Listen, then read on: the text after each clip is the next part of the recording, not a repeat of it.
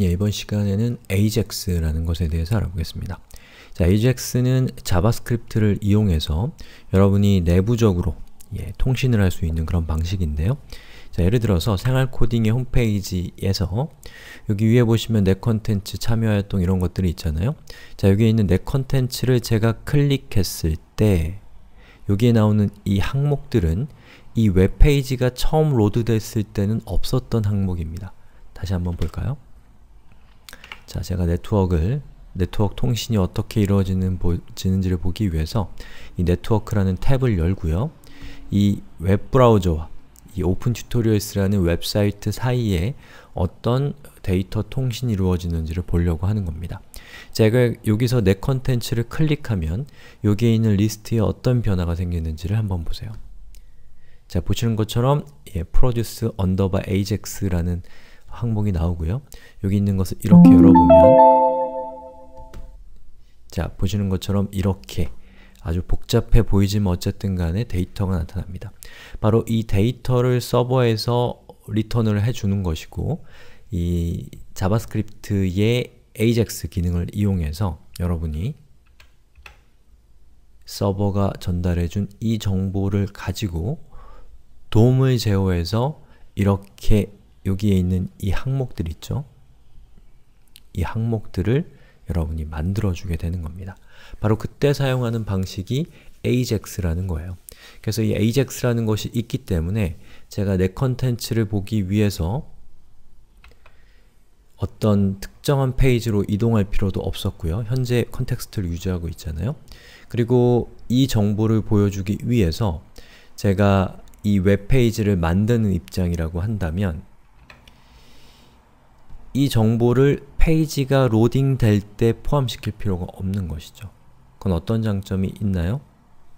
왜냐하면 여기 있는 내 컨텐츠 참여 활동이나 이런 것들을 사용자들이 항상 보지는 않는 컨텐츠이기 때문에 이런 컨텐츠들은 예, 사용자가 나중에 필요할 때 서버에서 가져갈 수 있도록 그렇게 하게 되면 이 서버 입장에서는 부담이 적은 것이고 사용자 입장에서는 데이터를 적게 사용하는 것이고 적게 사용한다는 것은 더 빠르게 자신이 필요한 정보들에 일단은 집중할 수 있다라는 것을 의미하게 되는 것이죠. 바로 그러한 것들을 가능하게 해주는 기술 이 바로 AJAX라고 하는 것이고요. AJAX는 이 근대적인 웹과 그 이전의 웹을 구분하는 아주 중요한 기준점 중의 하나라고 볼 수가 있습니다. 자, AJAX가 어떤 말의 줄임말인지부터 살펴보는 걸 통해서 우리가 AJAX가 무엇인가를 하나하나 살펴보도록 하죠. AJAX는 Asynchronous JavaScript and XML의 약자입니다. 자, 여기 있는 앞에 있는 Asynchronous는 예, 비동기라는 뜻이에요. 자, 그리고 JavaScript와 XML이라는 뜻인데 현재는 XML뿐만 아니라 다른 데이터 타입도 많이 쓰기 때문에 이 XML이라고 하는 저 표현은 그렇게 어, 대표성이 있는 표현도 아니고 현실성이 있는 표현도 아닙니다. 예. 비동기적으로 JavaScript를 이용해서 서버와 통신을 하는 방식이 바로 AJAX라고 하는 건데요.